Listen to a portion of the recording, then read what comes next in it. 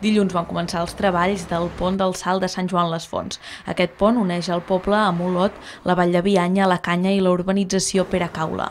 L'objectiu dels treballs és millorar la seguretat dels vehicles i dels vianants. Tot i així, no serà fins la primera setmana de febrer quan es tallarà totalment el trànsit i no es podrà circular en cap sentit.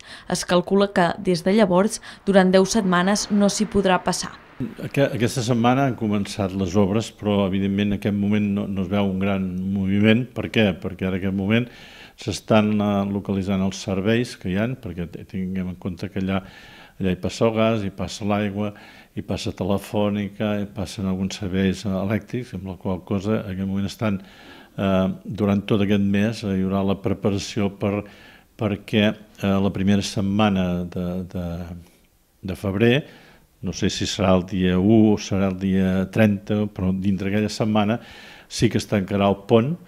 Les obres executades per la Generalitat de Catalunya i l'Ajuntament de Sant Joan les Fonts substituiran l'actual plataforma per una de nova. La insistència que l'Ajuntament de Sant Joan ha tingut amb la necessitat de que era el pont del Salt eh, que per als vianants era un perill, així, eh, així mateix quan passaven dos camions eh, doncs un es havia de parar perquè passés l'altre davant d'aquesta insistència doncs, a la Generalitat, en aquest cas infraestructures, doncs, eh, l'any passat va licitar doncs, aquesta, aquest tram la nova plataforma tindrà dos vials de 3,5 metres d'amplada i s'ampliarà el radi del revolt. Es construiran també dues voreres perquè els vianants puguin trapassar el pont de manera segura. Vull dir que en aquest moment doncs, eh, dos camions era molt difícil que passessin pel pont, sobretot allà al revolt aquest que he comentat, i amb l'eixamplament això no passarà. I, i ara serà el moment doncs, de poder connectar també doncs, al, Major, al carrer Major Santa Magdalena